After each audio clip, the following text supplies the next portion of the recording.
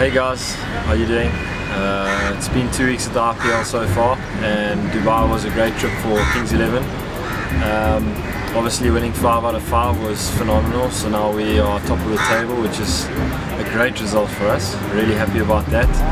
Um, Showtime, Mr. Maxwell put in some great performances. Had Balaji, Sandeep really putting in some great performances as individuals and the guys really did well as a team. Um, I think a lot of the guys really enjoyed Dubai.